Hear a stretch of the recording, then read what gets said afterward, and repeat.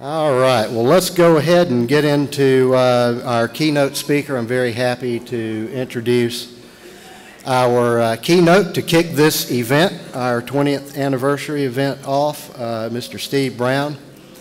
Steve Browne is a writer, a lecturer, motivational speaker, fellow Toastmasters uh, graduate, I, I just found out and uh, also a, uh, a former uh, professional in the gaming industry, and I believe he also continues to do consulting work. But Steve uh, has written a book called How to Raise a Rocket Scientist for Fun and Profit, and it's his first novel. He holds a Bachelor of Administration degree in English and Creative Writing from the University of Colorado. Has a wife, Robin, and two children, Katie May and Chris including a daughter who was born with cerebral palsy. And uh, he has an amazing story. So please uh, join me in welcoming our featured keynote speaker for this session, Mr. Steve Browne.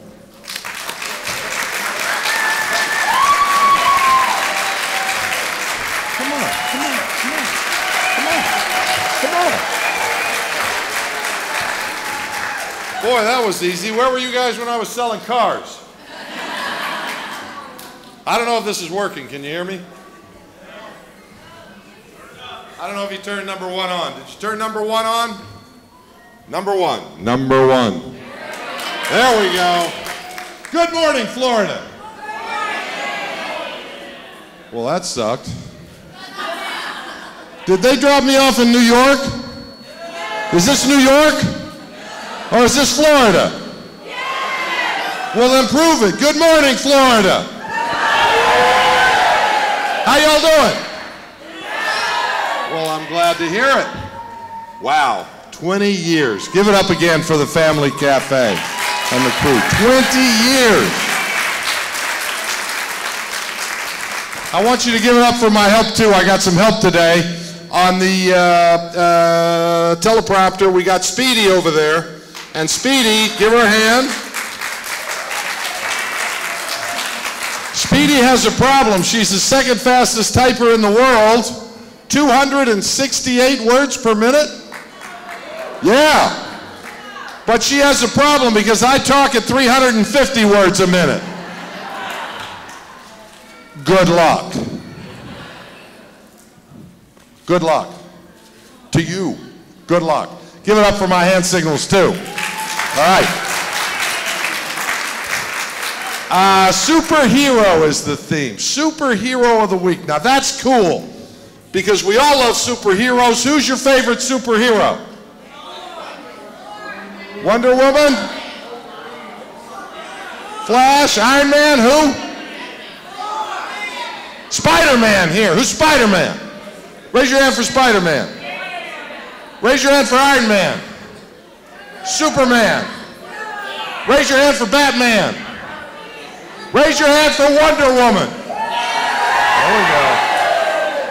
All right, now raise your hand if you're not going to raise your hand no matter what the hell I ask. I got a couple. I got a couple. All right. All right.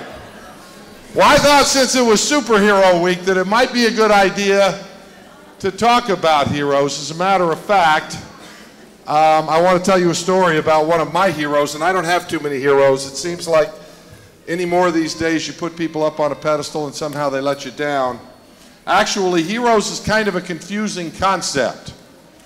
I mean, it's the kind of deal where it's kind of hard to define. You know one when you see one, but we don't always see them. They're unsung, they're unseen, but they're nevertheless there. And I wanted to get more of a, a, a feel, more of a focus on what a hero is supposed to be. So I did what I always do when I want focus. Now, for you millennial, I, I know how to Google. I learned how to Google. Thank you. I prefer to Webster. So I Webstered the definition of hero. Now, for you millennials in the room, the Webster Dictionary is what we call a book. It's about that big. Yes, it's bigger than a laptop. It's got a lot of words in it. I'm sure you've seen it. So I looked up the definition of hero. I wanted focus. I wanted clarity. I wanted to know what I was talking about. And uh, can we go to the PowerPoint, Richard? There we go. So uh, I looked it up. And a hero, it's a noun. The number one definition a person who is admired or idealized for courage, outstanding achievements, or noble qualities, such as a war hero. I thought, well, now I'm getting some focus. But then I got confused again because the number two definition is, of course, another term for a submarine sandwich. I thought, well, I don't want to talk about submarine sandwiches today. But then I got to thinking, you know, a friend of mine, his name is Scott. Scott and I have known each other a long time. Our sons grew up, they went through the soccer wars together as kids for years and years and years. And Scott called me up one day, several months ago, not too long ago, but, but several months ago. Wanted me to come down to my bar. He wanted to buy me a drink. Now, I own a little bar in Carson City, Nevada, where I live. It's kind of a labor of love. It's a side business I've had for 20 years. And I love it when somebody wants to buy me a drink at my bar. That's always a good thing. It's like someone wants to pay you $100 to make a macaroni and cheese at your house. It's a nice deal. So I said, sure, Scott, uh, let's go down to the bar. He wanted to tell me a story about something that had happened to him and his wife, Ruth, not long ago. As a matter of fact, only about a week, week and a half before he was talking to me.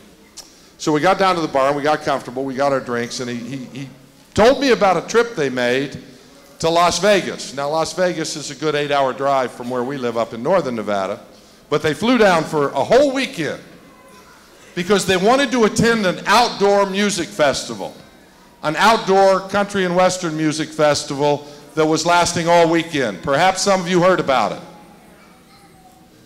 Where a crazed gunman up in the tower shot, injured 250 some odd people, and killed 58. And Scott said when the bullets started bouncing off of the asphalt, and he grabbed his wife Ruth and they started to run as fast as they could to the back of the venue. And he said as they ran, he'd never been so scared in all his life, and he'd been in the military. And it seemed that the bullets were following them. And they were, because the gunman was following the people as they ran with his rifle. And they got to the back of the venue, and by then Scott had been able to tell that, that the bullets were coming from up, somewhere up high, from not in the venue. And he saw one of those aluminum bleachers. You know the aluminum bleachers they put up at temporary events?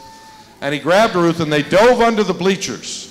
He said he could still hear the sound every night when he went to bed of the bullets pinging off the aluminum as they dove under the bleachers for cover. And he covered up his wife. And at that moment, the bullets stopped, as they would stop and start several times during the event while the gunman reloaded or changed rifles. And at that moment, a young couple, about mid 20s, dove in under the bleachers. And They looked terrified. And Scott turned to the young man and he said, Son, you've picked a safe place. You'll be safe here. Cover her up, stay here, you'll be safe. And the young man looked at Scott and he said, No, sir, I have to go. And Scott said, Son, I'm older than you. I'm wiser. Trust me. You'll be safe here. Stay here. And the young man once again said to Scott, No, sir, I have to go. And the young man's wife looked at Scott and she said, Sir, he's a fireman in LA County and he has to go. And the young man looked back at Scott. He said, Will you watch after my wife? And Scott said, I will guard her with my life. And he said, Thank you. The bullets started up again. The young man kissed his wife, and with a terrified look on his face, he crawled out from under the bleachers and he started to run as fast as he could. Not away from the bullets, but towards them. Now, I think we can all agree that that young man was a hero. I say was, I mean is, because there is a happy story, at least to this ending. He survived, he made it. They caught up with him a couple of hours later. He didn't have a belt that had been used for a tourniquet. He didn't have a shirt. That had been ripped up for bandages. And his feet were all cut up and bloody. He didn't have shoes because they had used those to transport a victim to the ambulance. But he made it. He survived. That young man is a hero. You know it, and I know it. And all because of one reason. For outstanding achievements or noble qualities, for putting an idea, a belief, a purpose ahead of your very existence, ahead of your very own life. And that got me to thinking about heroes and who they are in our life. There are a lot of heroes we never see. I believe that there are a lot of heroes in this room right here.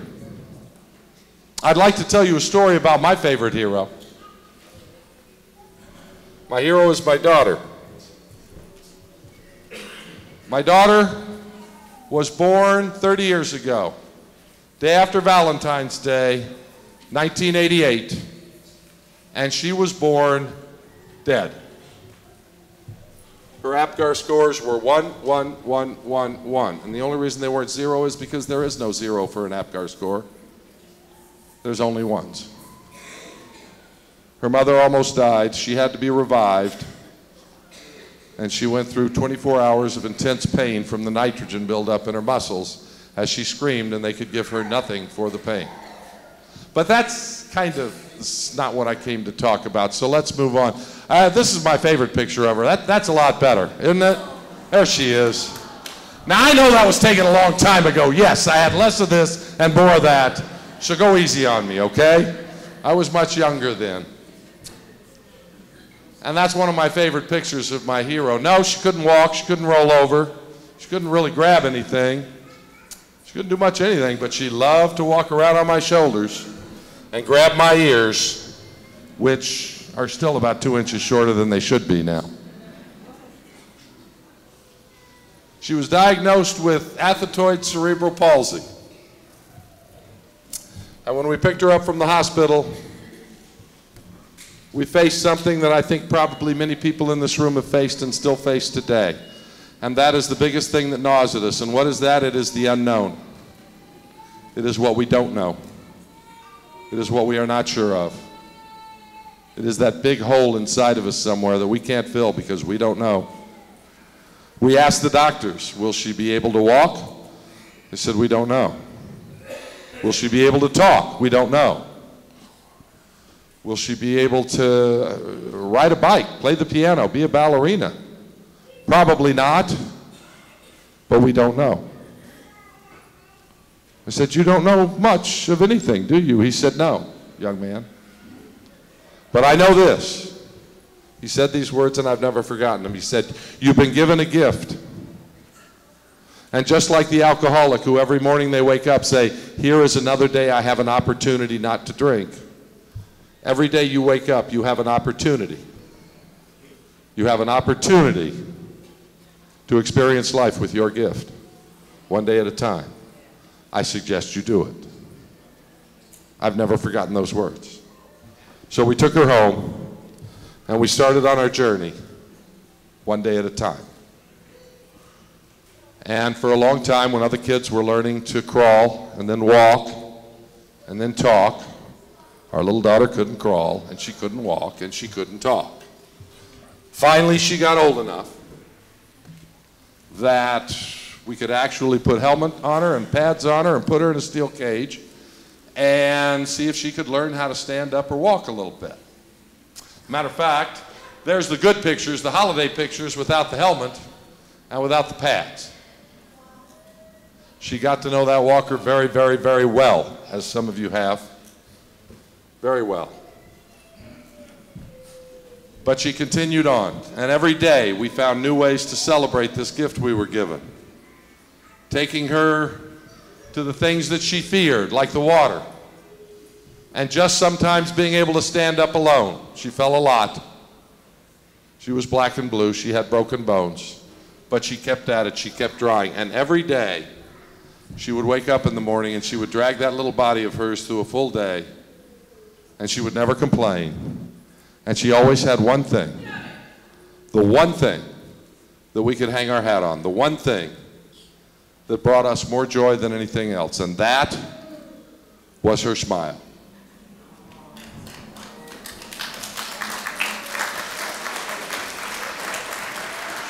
It lit up a room. It lit up the whole sky. It lit up the universe. I began to realize that everyone, regardless of who they are, has one thing. What is it? One thing that you can celebrate and enjoy. For her, it was that smile. It never left her face. Well, until she became a teenager. That's another story. That doesn't change, my friends. That doesn't change. So we continued on. Teaching her how to walk, teaching her how to stand, always behind, always wondering what would she be able to do and not. And as she grew up, her favorite place in the world, where do you think it was? Not Disney World. We live on the West Coast, folks. Disneyland. You can keep your Disney World. We have Disneyland. Doesn't matter. Disney World, Disneyland. What do they sell at Disney? Who can tell me? They sell what? It's not memories. The product creates the memories. It's not dreams. It's not happiness. Happiest place on earth, my butt. You ever been there in the summer? It's like standing in line at the DMV on the surface of the sun. But they sell one thing. What is it? Magic. They sell magic. They sell magic in a world in which there is no magic left and they sell it to people who desperately need it. And we all buy into it, don't we? And don't tell me you don't. Where else would you invite a six foot rat into your daughter's bedroom?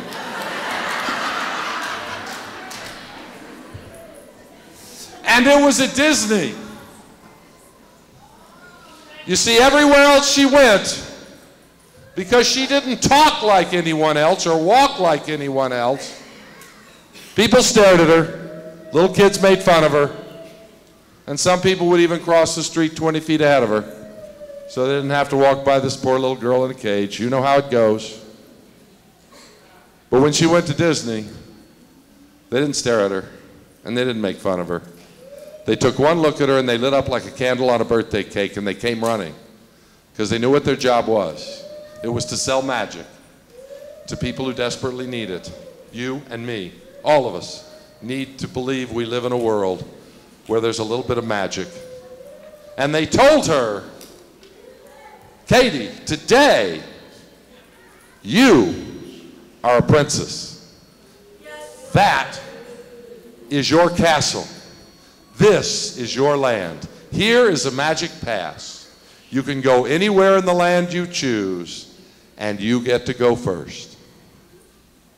And they said one more thing. They said, Katie, we want you to dream your dreams.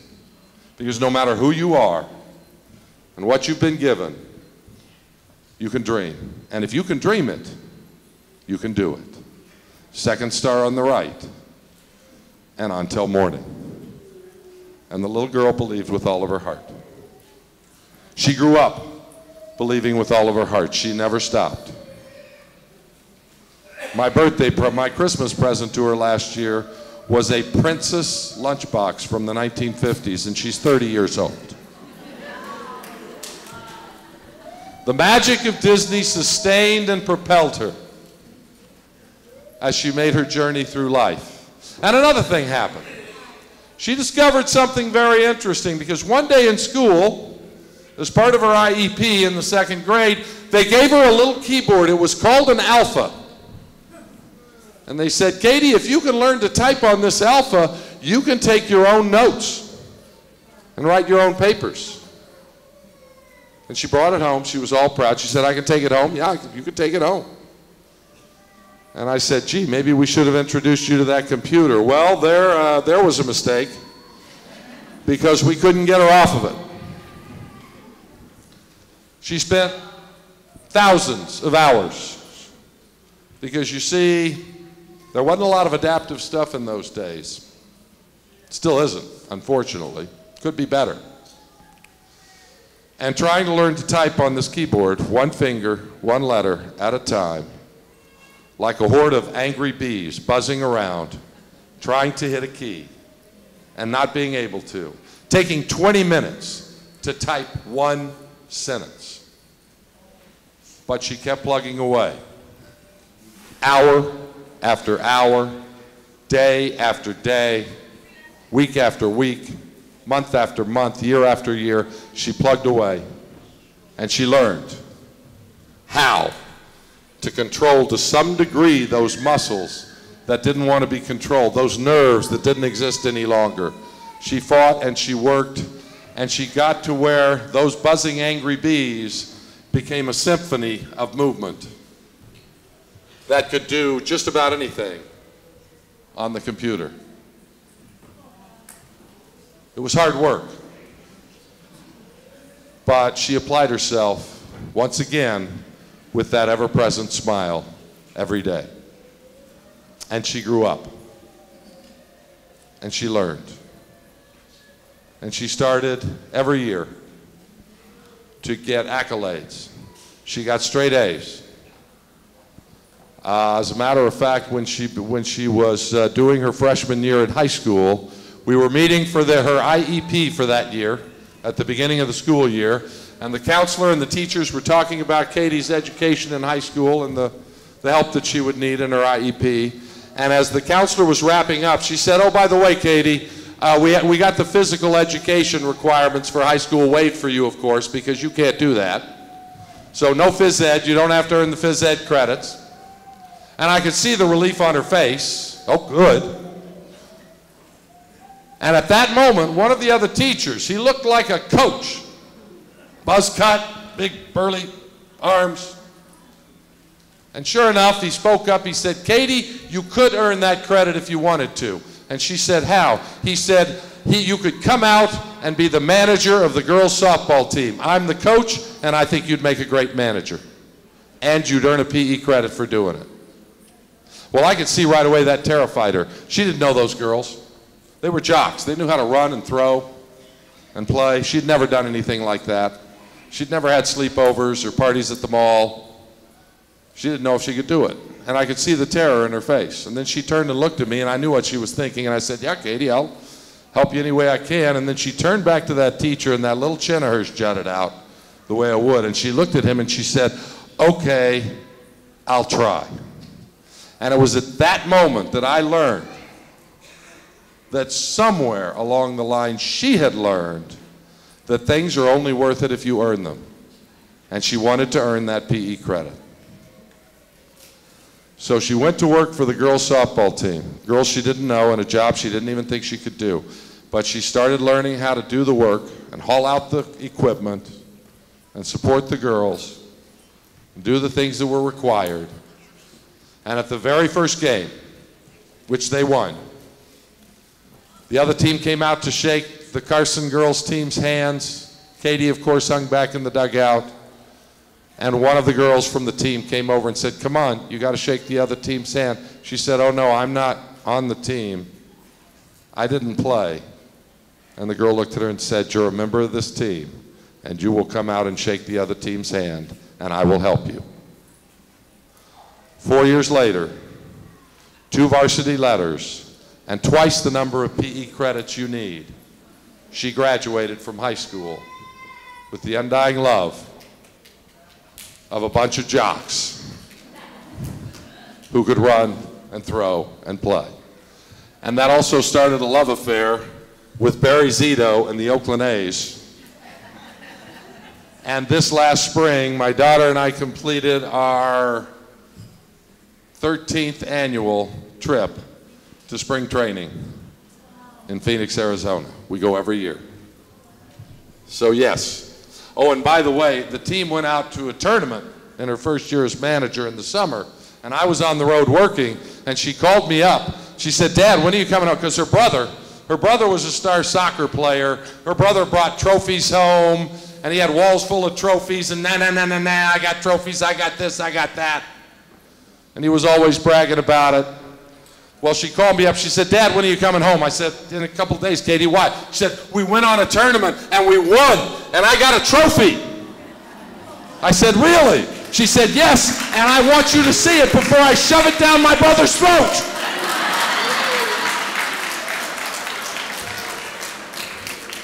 And sure enough, I got home and there it was, right up on the mantle in, in, in the, the place of honor, right next to that picture of Minnie Mouse saying, Happy birthday, Katie May.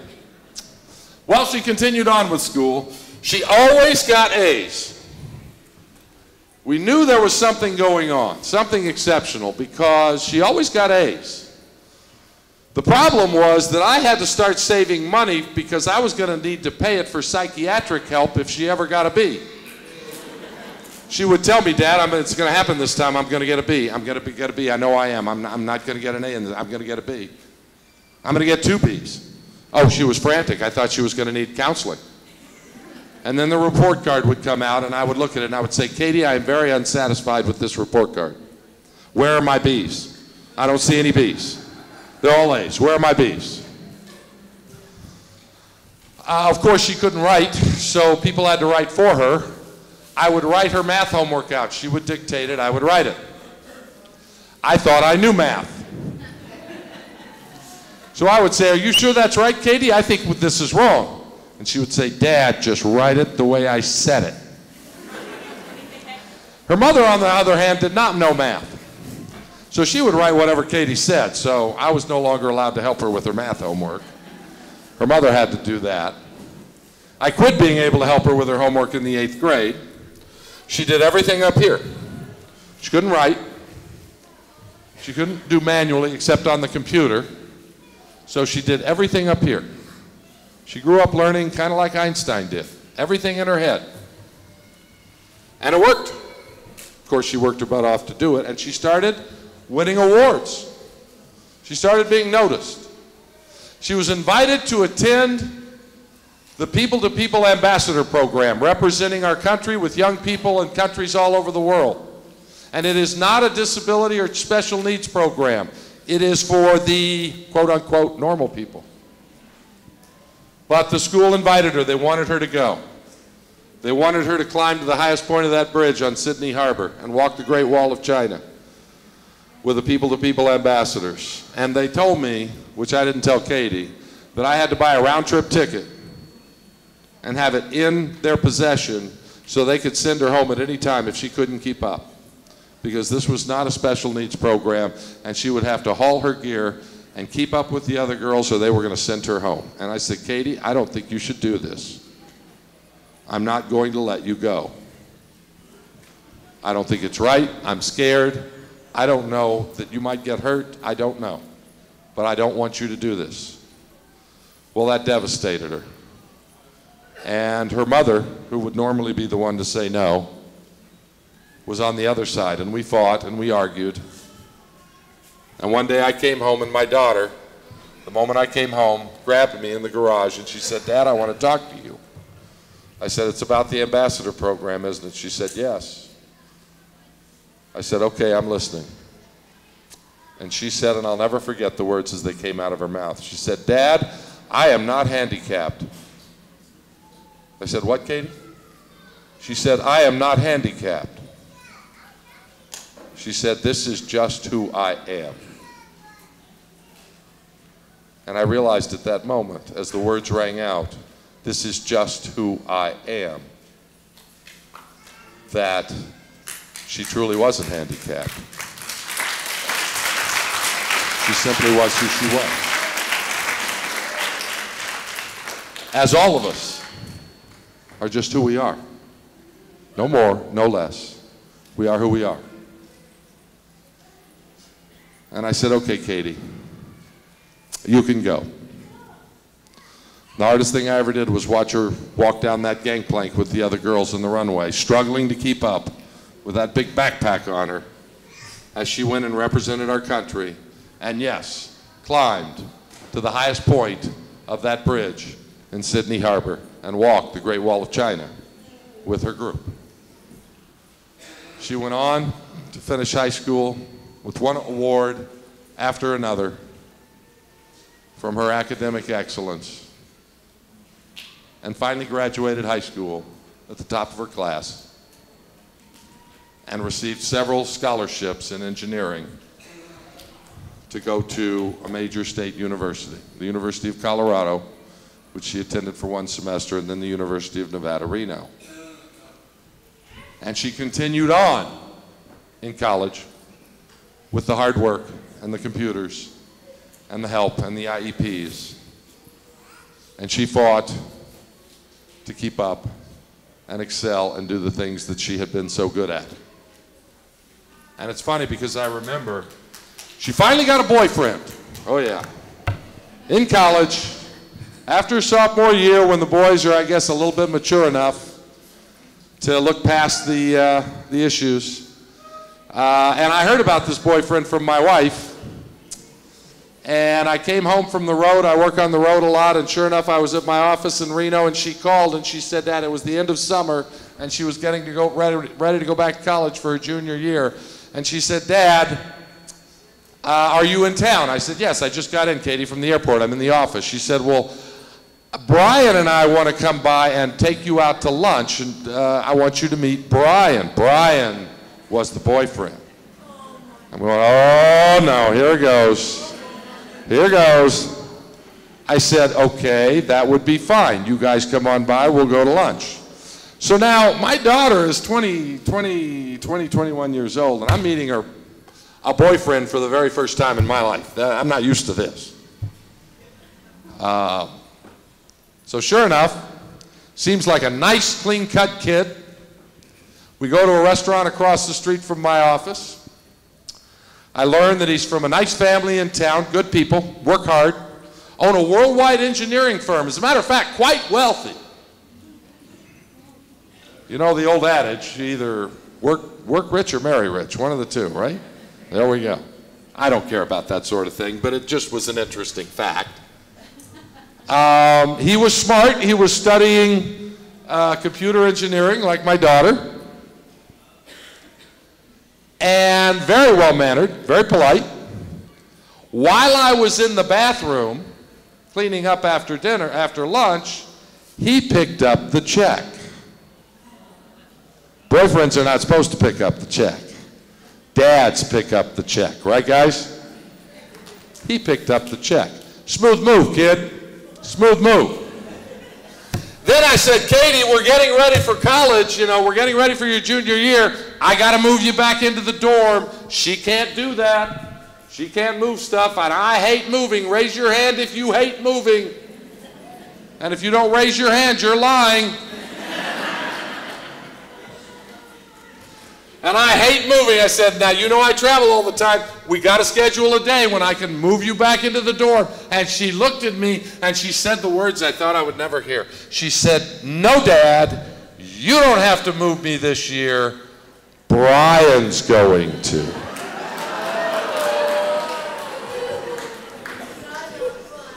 I said, let me see if I got this straight.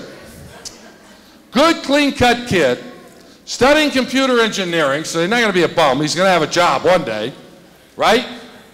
Well mannered, comes from a good, hard working family who happens to be rich. You picked up lunch, and you're moving my daughter into the dorm?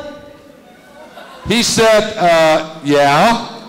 I said, You have my permission to marry her. now, is that funny? I think that's funny. You guys think that's funny? I think that was funny. She didn't think that was funny. Her mother did not think that was funny. Boy, did I catch hell when I got home. What the hell were you thinking? I said, I thought it was the right thing to say at the time. Seemed funny to me. So they went on with their adventures in college. She studied computer engineering. She worked once again her butt off, and then one day, once again, I got the call. Dad, yes, you know I'm graduating, yes? Well, I got it.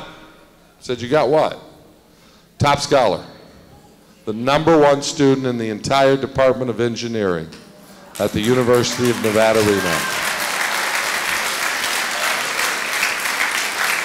Not just tops, number one. The best of the bunch. And she still couldn't pick up a glass and drink out of it without a straw. But she beat them all. And I can't tell you how proud I was at what she had been able to accomplish in all that time. And while she was finishing up her degree, a dream that had been percolating in her mind for years, a dream that I wasn't aware of, had come to full blossom. You see, at Disney, they told her to follow her dreams because if you can dream it, you can do it. And they told her, second star on the right, and on till morning. Who's that? Anybody tell me? Peter Pan. And Katie decided that her dream was to work among those stars, to go to work with NASA. So she applied through a dis, uh, disability entry program while she was in college for internships to NASA, and she was accepted. And she went down to the NASA, uh, to the uh, NASA Ames Research Facility in the Bay Area in California, where the very first summer she worked on software having to do with rocket engines. And if you ask me anything more than that, I'm going to get angry because I have no idea what it was she was talking about. Something to do with outliers and fuel and engine performance and all this stuff. I just called her. It, it was kind of a drag because one of my favorite lines had always been, that's all right, Katie, you'll figure it out. After all, it ain't rocket science. And I could no longer say that because guess what? It was rocket science. And then they invited her back. They wanted her back at Ames, but no, she wanted to work on stuff going into space. So the next year, she did her internship at the Goddard Space Flight Center in College Park, Maryland where she got to actually work on things going into space, like the James Webb Telescope, which was being run by her mentor. Yes, they invited her to attend while she was there the prestigious NASA Academy for Future Leaders, where she was mentored by a Nobel Prize winning astrophysicist, the man, Dr. John Mathers, who proved beyond a shadow of a doubt the formation of our universe over 14 billion years ago, the Big Bang Theory. That was her, that was her mentor. That's him right there in the middle. In just the year before that picture was taken, Time magazine had listed him as one of the top 100 most influential people in the world. He was going to help change it. And he was working on a telescope called the James Webb Telescope, which they're still working on, that is supposed to be powerful enough when it is launched to look all the way back to the beginning of creation, the Big Bang Theory. And so Katie worked on image processing with her mentor, Dr. Mather.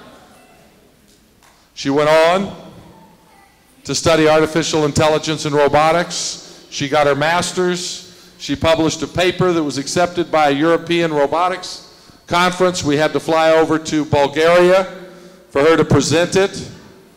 And I think it was probably the first time I truly understood just what was going on up in that mind because I was going to help her with the presentation she doesn't, she's hard to understand when she talks, and on a bad day, you can hardly understand her at all.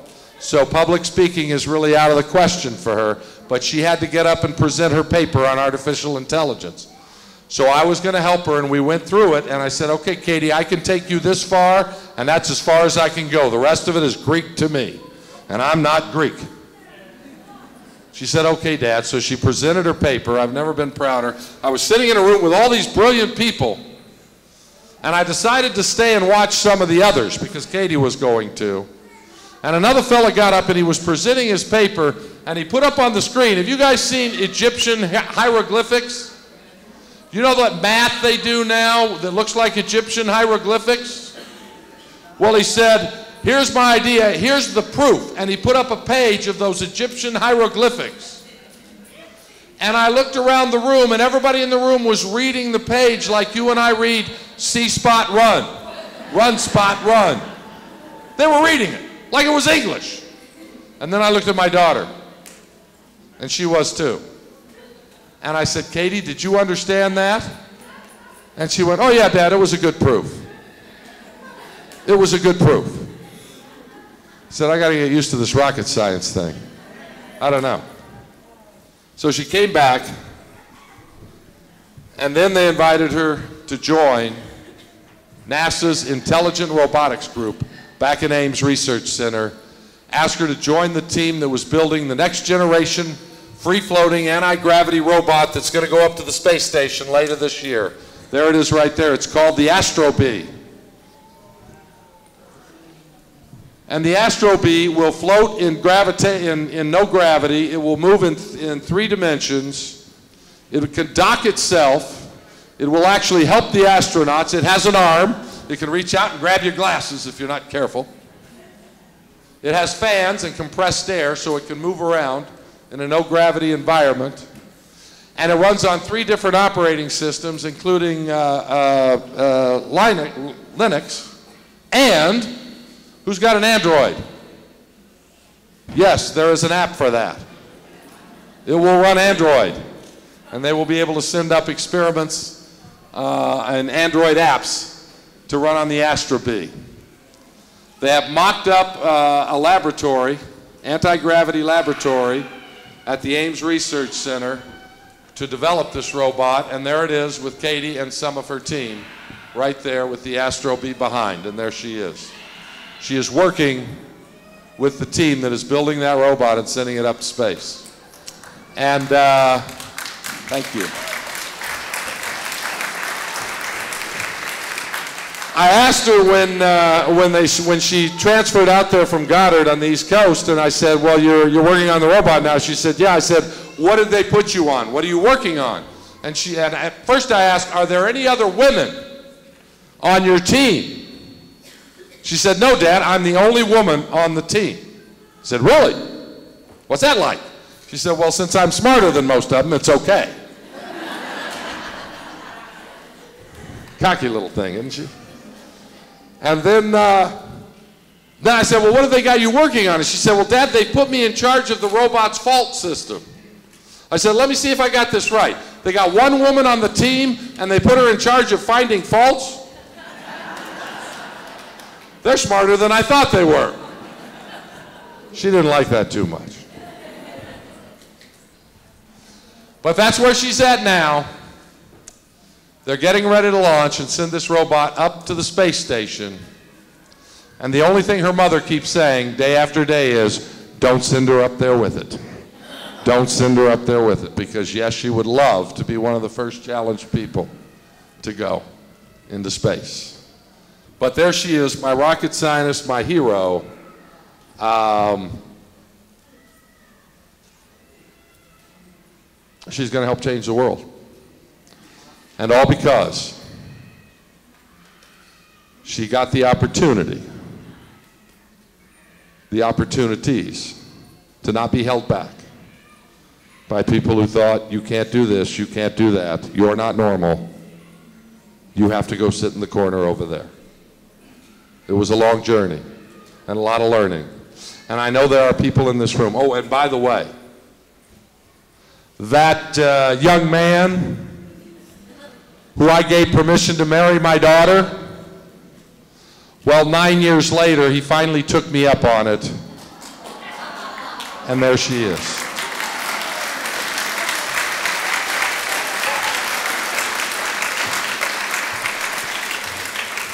I got to walk her down the aisle last December. Carly was there. And uh, it's kind of hard to believe the long, long journey we went through. I will say this we did not raise our daughter so much as she raised us. And I know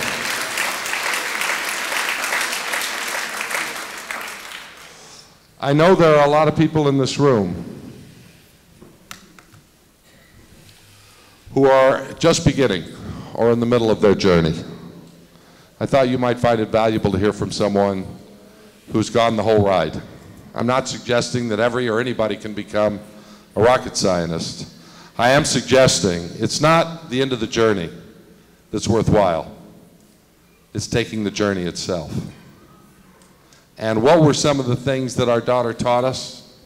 in this long journey. What are some of the things that I hope you're learning or understanding? Well, I think the very first thing she taught us, the very first thing we learned, is one day at a time. You have been given a gift, and that is this you have been given the gift of living in the present. Because most people in the world live in the future or the past. They think about what they're going to do tomorrow, or they think about what they did yesterday. But they rarely think about what? What they're doing right now, today. And if there is one thing our daughter taught us, we were given a gift to live one day at a time and see it as an opportunity to explore this gift we were given. And that was one of the most important things we learned. One day at a time, as you go on your journey, I know inside many of you is that big hole, that unknown. What will happen? What will happen to me? What will happen to my loved one? What will happen? What is the future like? What is in store for me? Only time will tell. So the gift you've been given is to focus on one day at a time. Don't look beyond that because the riches of your life, no matter who you are, are contained in this moment, this day, right now. What else did she teach us? Push, but don't shove. Not everybody can be a rocket scientist. I know I can't. But we were told if she can do something, if you see an aptitude, if you see a potential, push it. Don't shove it. Just push. Gently, steadily, with loving pressure, push. Push. Life is a risk. All of us must take risks, must put ourselves out there a little bit, no matter who we are. We have to push. It's the way we were built. Every one of us. Push it a little bit. Get a little outside your comfort zone. Don't be afraid to push yourself and to push those you love. Don't be afraid. But don't shove them. Don't shove them. Just push. Everyone needs a champion. I have two people in this room. I have the challenged and I have the champions. And they are both heroes in my book. Katie was the challenged, and we were the champions. I, I, would like to take credit for that. I can't. It was her mother. Fighting for her in the IEPs, fighting at school, fighting every turn, fighting for every advantage, fighting for everything, never taking no, being realistic, when uh, the public school system was hesitant about taking her, and we said, we don't believe in dragging down an entire class of people for one person. That's not right. She can't keep up, fine. But you will let her try. Well, she's going to need an aide. And her mother said, I'm there. Every day, I will go, and I will be that aide, and I will volunteer at that school. She had her champion. All of us need a champion. All of us need someone in our corner. All of us need someone to fight for us. You need a champion. That was what she taught us. Number four, resources are critical. That is why I'm so amazed. 20 years. I don't think Lori wanted this to go 20 years. I think she wanted it to solve a problem and go away. But it's a problem that's never going to be solved. There's always going to be a need for resources, and you the challenged and the champions need to continue to fight to find and utilize those resources. 150 years ago, my daughter would have been put in an institution. And today, she's going to help change the world. The resources are there, find them. And when they're not there, create your own, like Lori did. I wish I'd had this. 30 years ago. Oh, I wish I'd had this 30 years ago. But you do now. It's an incredible group. And it's not just awareness, but also finding and matching resources to whatever our needs are. And I speak to both the challenged and the champion. We both need resources. And finally, last and most important, the most important lesson my daughter taught me, the most important theme of the book you've been given to read, it goes throughout it. And the only thing I really have to tell you in the world today, what I've learned more than anything else, is simply this. There is no normal. There is only what you've been given and what you choose to do with it. That is it. There is no black and there is no white. There's no tall and there's no short. There's no average weight an average height, an average body. There's no normal range of anything.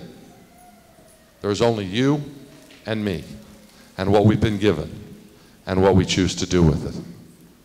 And when the world can truly approach life that way, then we will truly be free to do the one thing we were meant to do from the day we were born, and that is to love and be loved by others. That is the only thing that is normal, to love and be loved.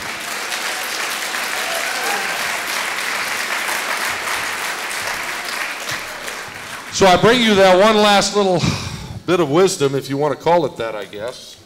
I lost my little clicker here. It's flashing at me. There we go. There is no normal. There's, uh, Richard, you want to hit the button on that computer once? There we go. There's only what you're given and what you choose to do with it. My uh, sister gave birth to a little baby girl. Her name was Hallie. This was back in 1982. Hallie lived for one year. She was born with a bad heart. And for one year, they tried to save her. They tried to make her whole. They did, they failed. But if there's one thing I knew for, and learned from that, it was this simply this. Hallie had a great life. Oh, she only lived for one year. But for that year, she loved and she was loved. And there's nothing more you can ask for in life than that right there. That's all you can ask for. So I think of my niece often. Katie thinks of her niece, the niece she never met, often. We keep her alive in our memories. But no matter who you are, or what challenges you face in this life, and we all face them. Some face them physically in wheelchairs. Some face them mentally with autism and such. Some face them because we just face them. That's life. But at the end of the day, we are all the same. We want to love and we want to be loved. Now, as uh, Jim mentioned, I'm in the gambling business and have been for many, many years 40 years teaching people how to sell to people who are looking for fun, looking for risk, looking for fun in our casinos and our resorts. I kind of took after P.T. Barnum, who uh, once said, Well, the most noble thing you could do is to entertain others and make them feel good. I truly believe in that, and I try to teach people the good in that and how to make other people feel good. Gambling's kind of a funny way to do it, but I do. So I thought I would end with a little gambling statement, one of my favorites, and one that I think guided me with Katie more than anything else, and I hope you find it valuable. And it simply goes like this. Hmm, you want to hit that key again? You don't have a right to the cards you believe you should have been dealt. You have an obligation to play the hell out of the ones you're holding. Thank you very much, ladies and gentlemen. Good luck with the conference. Get the most you can out of it. Remember, go out, love, and be loved. I'm going to turn it back over to Jim. He's got a couple of things he wants to say.